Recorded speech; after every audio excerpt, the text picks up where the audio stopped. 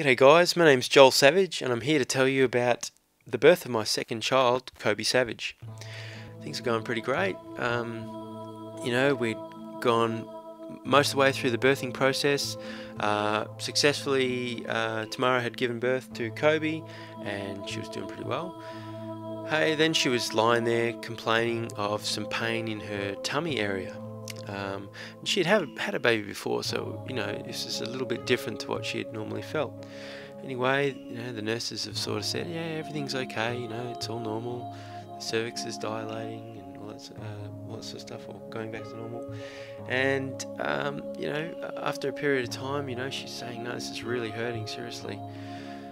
Um, it turns out that there was issues with the uh, uh, placenta when they removed that, and um, yeah, so she she got up uh, to head towards the toilet because she was feeling a little bit woozy. Anyway, um, we were confronted with this massive pooling of blood on the ground.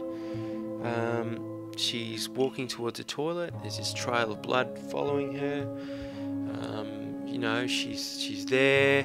She sits on the toilet and then she's lost three litres of blood in that whole process. So she's absolutely flat out, um, passed out. Within uh, honestly about two seconds, the medical staff were just smashing into that room. Um, you know, alarm bells were going off.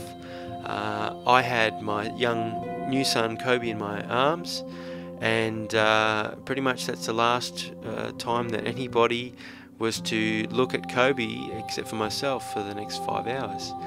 Because uh, all the medical staff were really just interested in saving Tamara's life. Um, you know, so that was the day I, I nearly lost my wife. Um, three litres of blood uh, is, is a lot to lose. I think she ended up with uh, five units of blood uh, replaced.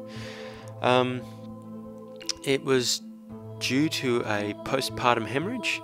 Um, so basically, a part of the placenta was still uh, left inside and uh, prevented the body from actually um, you know, going back to normal and, and, stopping the bleeding. So, um, the worst part for me on that day was honestly um, uh, the vision of the blood all over the ground, and I was stuck in that room on my own for some time, and they didn't come and clean it up or anything, you know, for at least a few hours and it was just me and my son, and we didn't know if mum was going to be there. So, um, really quite a scary day. Um, and uh, glad that luckily my wife made it through.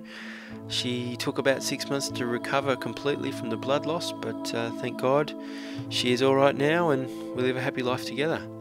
Thanks very much for listening.